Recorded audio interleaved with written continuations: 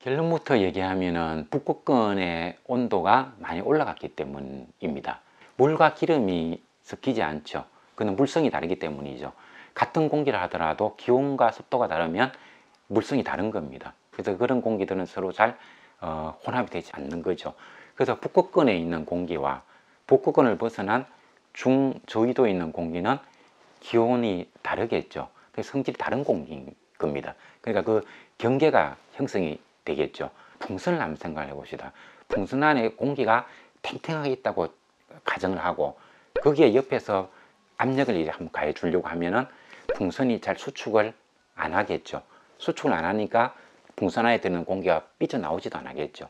근데 풍선 안에 있는 공기가 이 좀 양이 적어서 그래서 풍선이 좀 쭈글쭈글한 상태였다고 쳐봅시다. 그러면 주변에서 힘을 주면 풍선이 쑥 들어가겠죠. 쑥 들어가면 또 한쪽에서는 툭 튀어나오겠죠.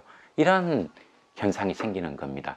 그래서 금년에도 어, 왜이 금년 겨울에 이렇게 추우냐 이런 얘기를 하는데 우리나라도 굉장히 추웠죠 이번에 왜 추웠는가 하면 우리나라에 살고 있기 때문에 추, 추운 거다 이렇게 얘기해도 어, 우스갯소리 같고 좀 실없는 소리 같지만 그게 사실 맞는 거예요 우리나라 쪽으로 북극권에 있는 공기가 삐져나왔고 대신에 우리 옆에 있는 서쪽에 있는 시베리아 쪽에는 온도가 굉장히 높았습니다. 그쪽으로는 남쪽 저위도에 있는 공기가 치고 올라간 겁니다